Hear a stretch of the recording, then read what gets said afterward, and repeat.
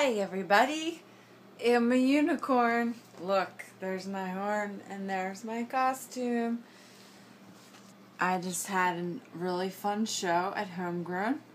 Nobody was really dressed up in a costume, but that's okay. I'm also extremely tired and I did not eat. So I'm a little cry cry for show. But it was a fun night, and I don't care that I'm wearing this unicorn outfit because it's fun. It was fun. I like Halloween because you get to dress up and be ridiculous. And also, thank you for everyone that came out to the show. It was very fun. And all my work friends, I love you because you're awesome. And actually, life is pretty cool because I have a lot of good things to be thankful for.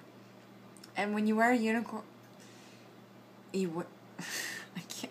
I swear I'm not drunk. This is me normally. I literally had one drink. I'm just delirious.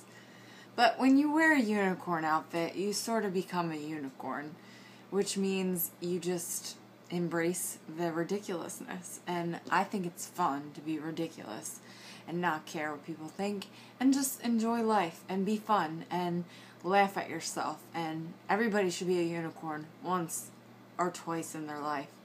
So, I say, go be a unicorn and frolic around because guess what? People don't believe in unicorns, but they're real. And that's kind of like in your inside saying, I'm real. I'm a unicorn. And I am very colorful in the world. I like unicorns, boys and girls. It's 2 a.m. I need to go to night night. But thank you and happy Halloween. There's my horn.